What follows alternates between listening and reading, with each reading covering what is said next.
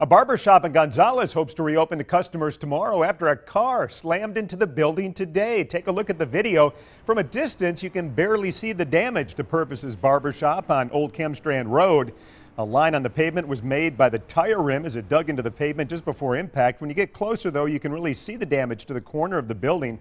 A pile of bricks sits to the side where the car hit the building about 2 this morning, and inside you can see where the drywall was damaged from the impact.